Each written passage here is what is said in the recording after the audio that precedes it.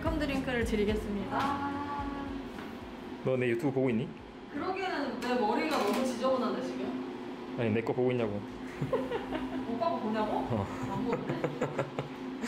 아 이거 많이 보긴 했는데 먹어보진 못했어. 진짜 맛있어 근데 이거 마, 여기서 이걸 마신 사람들 중에 안 사가는 사람은 못 봤다 이 정도로 어. 오 맛있어요?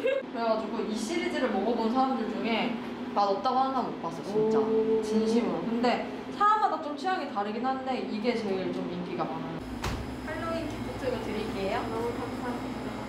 이것도 하나 드실래요? 어, 초콜릿이요. 네 저희 진짜 술을 좋아하는 세 명의 친구들이 있는데 진짜 맨날 술을 마셨어요 진짜 이럴 거면 우리가 차리자 이렇게 된 거예요 궁금했어요. 그 트라이앵글의 의미가 뭘까? 네, 조인영 대표님이 저희 만들어줄 때 여기에 메리트가 뭐야? 장점이 뭐야? 때 우리가 사람들도 만나고 소개해줄 수 있고 그런 장소였으면 좋겠다고 해가지고 다들 너무 것 같아요.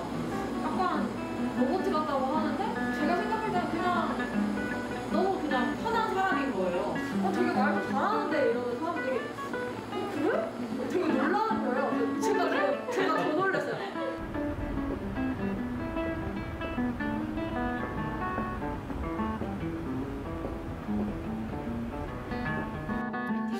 저번에 꼼꼼하게 거 이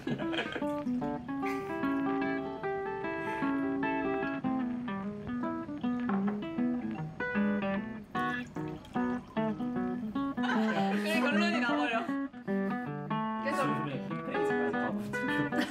아, 그거 읽어서 어이. 어쨌든